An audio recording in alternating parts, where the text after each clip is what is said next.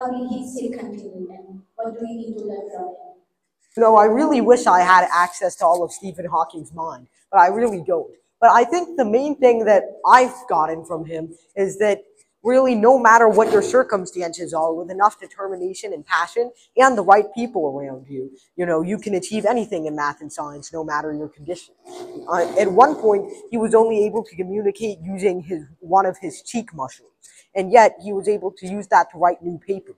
Just like a lot of other items in math and science, reportedly Euler um, was writing papers even faster than he was when he had both eyes, when he was blind in both eyes. He was telling his papers to a scribe. And actually, he needed two scribes to write how fast he was, to write down his papers at the rate of how fast he was speaking. So, and in that time, there wasn't even any technology close to what Stephen Hawking was lucky to have in 2018.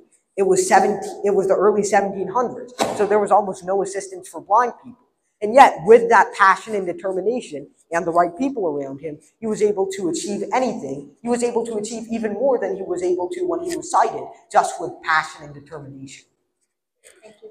Thank you so much. No problem.